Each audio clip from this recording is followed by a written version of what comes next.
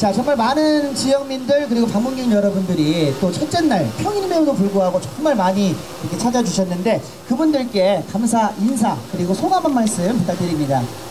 어, 여러분들도 다 알다시피 어, 영동 꽃감은 어, 육질이 단단한 둥시로 이렇게 생산을 해서 어, 달콤하고 쫀득한 이 꽃감을 생산을 하고 있는데요. 오늘 날씨도 너무 좋은 것 같습니다. 그동안 코로나19로 인해서 어, 대면 축제가 못했었는데 아, 이렇게 오늘 대면 축제가 이루, 이루어지는 것 같습니다.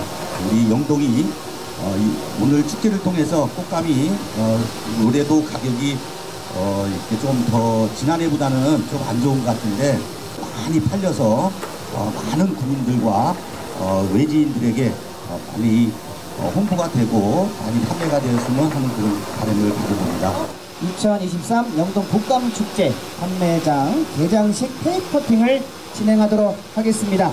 하나, 둘,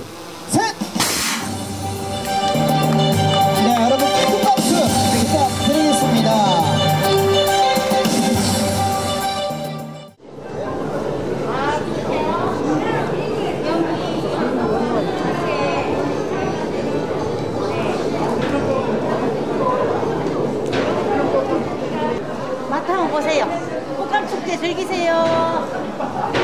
꽃감도 구경하시고 맛도 보시고 꽃감 축제 즐기세요.